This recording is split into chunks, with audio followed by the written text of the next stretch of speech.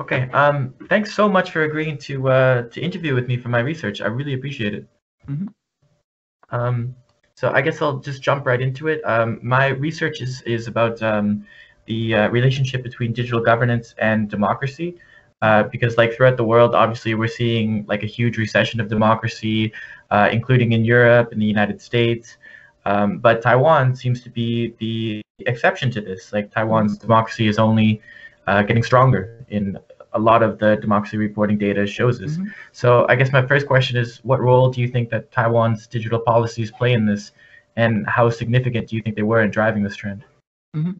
I think universal broadband access and universal healthcare, universal digital competence and media competence in basic education, these are the main motivators uh, for inclusive digital democracy. Uh, and I think we think about democracy as a form of social technology. So it's not a fixed like three bits uploaded every person every four year thing, uh, but rather it's a continuous thing where everybody can participate. It's everyone's business with everyone's help. So I think it's um, not two things like internet democracy, but rather it's intertwined.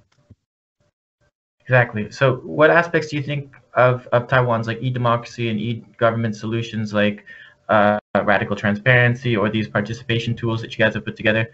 Uh, what do you think are the greatest advantages of this um, of this approach that Taiwan has? Yeah, it's now so prevalent that I don't think about the e-dash anymore, right? Uh, we, we just say let's mail each other. We, we don't say e-dash mail anymore because that's kind of the default. Uh, we'll, we'll say paper-based mail if it's uh, paper-based mail.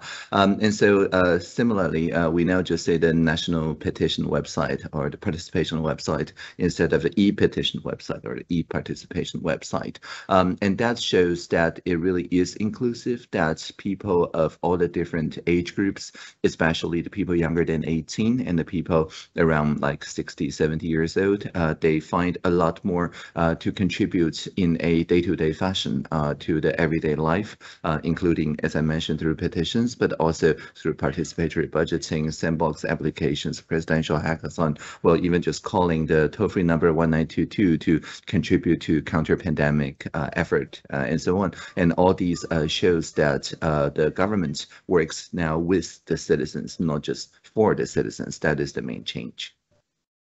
Okay, so it's establishing this sort of like collaborative um, ecosystem where Mhm. citizens can communicate with the government. Mhm. Okay. Um, so then, what do you think? What, what what kind of like policy groundwork um, do you think is required before you start implementing these kinds of things, these Mhm. um, participation platforms and stuff? I, I mentioned universal broadband, universal media competence, universal digital competence, uh, and also healthcare since we're still during the pandemic. Uh, and, and these are actually constitutionally protected in Taiwan. Okay, interesting. Um, so then, how um, how popular or widely used are these participation tools uh, in Taiwan right now? And are you like, do you have any policies that are that you're to get them to a wider sector? Uh, I can't hear you anymore.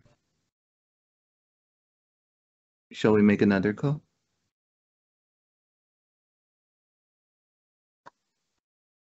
um, Center for High Computation and things like that. Uh, and I noticed that you've just started recording, but it's fine. Uh, I've got my local recording. I sent sent you. Oh, okay, sorry. But um, and so um, yeah, so so the point is that it's not directly uh, translatable to citizen engagement uh, if you do not empower the public service to trust the citizens with those uh, digital tools for pro-social communication, right? So uh, what we're uh, getting at with the participation officer network, uh, among other things, is to get a culture of starting a wiki survey, right? A crowdsourced agenda setting um, as easy as you would uh, starting a Google form.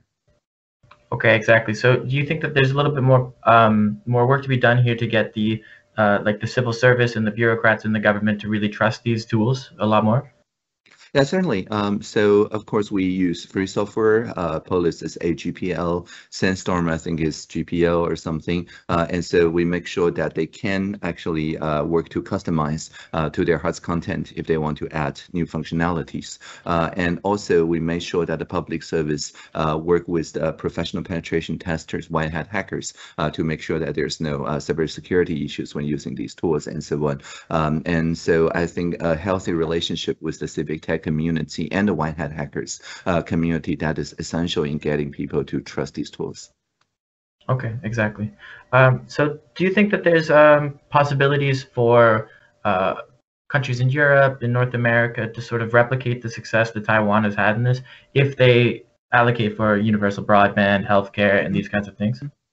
Definitely, I mean, Polis is from Seattle, uh, and participatory budgeting is inspired by, among other things, uh, Consul and Decidim uh, from uh, Madrid and Barcelona. Uh, the petition website uh, is almost an exact um, adaptation of the Better Reykjavik from Iceland and many other things. and so what we're doing is, in, in some sense, just making sure that the public service trust this um, method of listening at scale without getting tied to any particular form of technology. So they may actually procure new technology when new technology is called for. Uh, and so it's more of a culture change thing rather than a single piece of technology. Um, and so if a similar culture is uh, being um, deliberated in other parts uh, of the world, I'm sure that since this is free software, um, any place probably has their own self-hosting capabilities and their own cybersecurity auditing teams.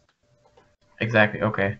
So a lot of it has to do with uh, the political will more so than uh, the and, technology. Um, and and also the norm, the the habit of policy making. Because in the public service, uh, what's important is to reduce the risk, right? If you collect far more noise than signal, you're actually increasing the risk. And also the another interest is to save time. If you collect a lot more uh, controversy uh, and polarization than uh, workable, feasible, um, shared, uh, good enough consensus, then you actually waste everybody's time. So without increasing increasing anyone's risk or wasting anyone's time, the public service is much uh, more willing than to work on the mutual trust part, which is the part we want to get to, right? But you can't trust one to the other. Uh, the three um, axes of uh, reducing risk and saving time and improving trust uh, cannot be traded uh, against each other. Exactly. Okay. Um, and this one, I guess, is is a, um, not directly related with the participation, participation, but on especially in the West, on social media and uh, online forums. Uh, they've often become sort of the hosts of very toxic communities that engage maybe in hate speech, traffic in um, conspiracy theories, and these kinds of things. Um, so, how can a government, in collaboration with citizens, work to reduce these uh, anti-democratic influences while still maintaining the right of uh, free speech? I mean, I think there is a um, room for the more antisocial uh, or tension uh, oriented, conflict oriented parts of social media, just like uh, there is a room for the nightlife district, uh, very loud bars um, in the city, right? Um, people go there for entertainment, I'm sure. Uh, and uh, even though it's, you know, selling addictive drinks, private bouncers, very loud music, you have to shout to get heard. there, there is, of course, a um, population, a, a, a cultural um, need for have such places places. What's not uh, good is to try to hold town hall meetings at such places, right? So, and so what the government should do uh, is to uh, fund uh, and give substantial social sector control to uh, the equivalent of public parks, of uh, public libraries, um, national parks, even uh, for this sort of things, right? Uh, and this is what we call digital public infrastructure, and uh, is classified since 2016 um, as infrastructure, even though it's nothing concrete, like not made out of concrete. still, it provides the digital equivalent of the town hall-like places for people to in a pro-social manner for deliberative democracy. But we're not banning or chasing down, you know, the anti-social corner of social media. That's for entertainment that has its role in the society. Exactly. Okay. Um, so then my next question is, how do you find this balance between um, uh, the the various actors that work to sort of moderate um, content online, especially like for example disinformation and these kinds of things. How has Taiwan sort of like built this balance of uh, uh, civic society, the private owners, and the government to uh, mm. to effectively counter it? Yeah, by creating a strong norm, uh, it's just like counter spam, right? If sufficient amount of people flag things as spam, then organizations such as Spamhaus has sufficient signals to contextualize each part of the email uh, to kind of find the fingerprints uh, that will then uh, divert further emails from a spammer to people's junk mail folder rather than the inbox. But this doesn't work if any single actor uh, from this multi-stakeholder situation uh, suddenly says, I want to be the intermediary and all your message have to pass through me. That of, of course would not work uh, in the email case. Uh, and so I, I, think in Taiwan we have a really vibrant ecosystem. The leading antivirus company, Trend Micro, for example, uh, offers the Fangjia Darren or the uh, virus buster uh, that scans for scams and um, like um, conspiracy theories, also disinformation packages and so on, uh, because it, it's a general purpose system uh, for flagging and for real-time contextualization. Uh, and uh, also in the private sector, there's the Whoscall, uh, which is a unsolicited caller ID identification app. And they also offer uh, which is a similar service for even in end-to-end -end encrypted channels, they can scan incoming messages and contextualize it. On the social sector, um, there is GovZero with the Cofacts community, like a Wikipedia media-like community uh, for real-time fact-checking. And there's also, uh, for example, um, the Taiwan Fact Check Center, which is by professional journalists uh, providing the service uh, so that the uh, widely spread rumors can be actually investigated upon and again, providing the kind of mandatory, what we call notice and public notice. So on the private sector, the uh, companies such as Facebook are strongly pressured by the social norm so that they have to sh show the contextualizer services whenever any anything uh, that is trending or goes viral. And so what we found is that if we provide clarification and counter disinformation context uh, within a couple of hours of each viral uh, piece of disinformation, then they tend not to make too much of a negative social impact. This is what we call humor over rumor, the memes to make people kind of laugh as a contextualizer. That also helps a lot. Awesome. Okay.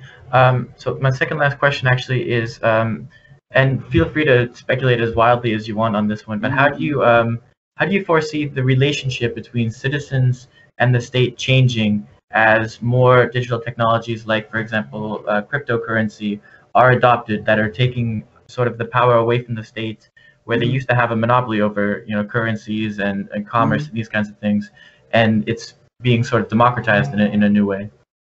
I think democracy as a form of technology, as I mentioned in the very beginning, is what I'm uh, seeing, um, and it's not in the far future. I mean, um, um, for example, the Ethereum community, uh, now that they're uh, under a very strong social pressure to adopt a net zero climate uh, impact uh, transition, right, and that is uh, like changing the, the governance um, priorities for that particular crypto community. They also um, navigated the Gitcoin experiment pretty well well using new forms of uh, funding called quadratic funding, which is then uh, inspired by quadratic voting, which is a new voting system. So democracy is a new form of technology. It's not some abstract thing, right? It's something that's being experimented uh, in the crypto space as well. And we take um, the um, not yet uh, best but better practices, or maybe you should call it uh, next practices, uh, and then use it in our um, government functions like the presidential hackathon, the presidential culture award, both uh, has been used in quadratic funding now, uh, sorry, quadratic voting now. Um, and so I think a lot more kind of uh, cross-pollination of the democracy as a technology uh, is now happening between the digital spaces and the more traditional uh, state functions. And so I think this is pretty good in the sense that um, this iteration uh, makes people think of government as something that people can fork and also merge back. And so I think this fork and merge relationship is what I have in mind when I think about future, what I call people, public, private partnerships. Okay, awesome. Um, that's actually all of my questions. Uh, you answered them amazingly. It was great. Mm -hmm. Okay, um, excellent. Uh, and we should talk about uh, the recording. Usually I just uh, post it on YouTube under Creative Commons attribution, if you're okay with that. Yeah, that works perfectly for me, actually. Okay, okay, and it will contain your audio, but not your video. It will contain just my video because it's a local recording. Sure. Okay. Okay, That works. excellent. I'll just Um, send you the links. Yeah. Okay. Perfect. Thanks a lot. Okay, have a great cheers. day. Bye. Bye. Live long and prosper. Bye. Thank you.